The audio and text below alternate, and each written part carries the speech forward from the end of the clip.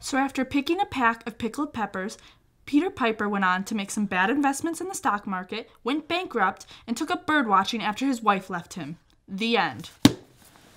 I didn't like that story very much. Tell your father when you visit him. Uh, could we leave my nightlight on? Hmm. Mommy didn't raise no bitch. Good night. Well, could you at least check for monsters in my closet? Of course, sweetie. Excuse me. Any monsters in here? Oh, God. The only thing scary about this is her fashion choice. What? Wait, wait a second. I see you in there. Uh, no one is home. Mr. Beelzebub, I know that's you. Hey, you can't give out a client's name like that. True, but if I remember correctly, I argued you down from complete expulsion from the corporal plane to under the bed confinement. Yes, I know that. But you have to understand.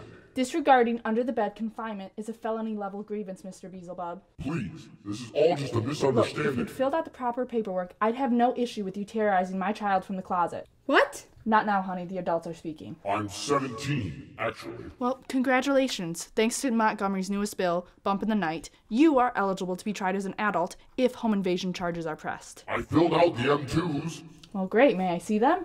I, uh, don't have them at the moment.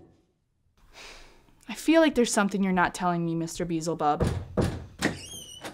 Who are you? That's classified. Hi, I'm Victor McClaine from Hamlin McClaine Practitioners. I can't hear you. I will literally arrest you for obstruction of justice. I received word that you've been harassing one of my current clients. Your client? As of September 20th, Mr. Beazle Boob has been under my jurisdiction regarding his workplace transfer. Well, your client is obstructing his court ruled under the bed confinement. We've been working with Judge Morrison in recent months, and we've reached a compromise.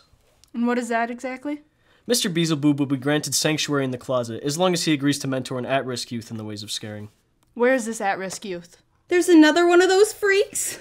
Right here, fool. The proper term is shadow dwellers. Don't be disrespectful, you little shit.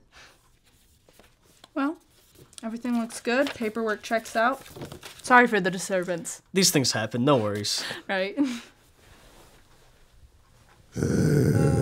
Mom?